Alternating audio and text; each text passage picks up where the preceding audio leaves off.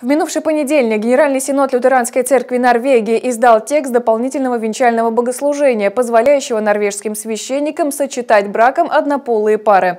Предложение, которое два десятилетия оставалось предметом ожесточенных теологических споров, было поддержано 88 из 115 делегатов Синода. Два года назад лишь 55 делегатов высказались за то, чтобы дать представителям ЛГБТ-сообщества право венчаться.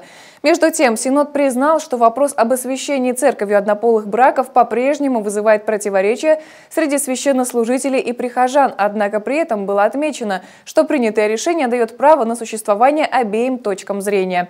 За священнослужителями, которые не поддерживают однополые браки, остается право отказываться от освящения подобных союзов. Вместе с тем, у тех, кто желает их заключить, будет возможность сделать это в родном приходе, для чего в некоторых случаях, по всей видимости, придется приглашать другого священника.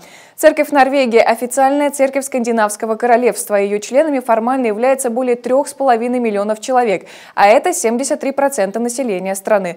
В настоящий момент большинство ее епископов поддерживают однополые браки.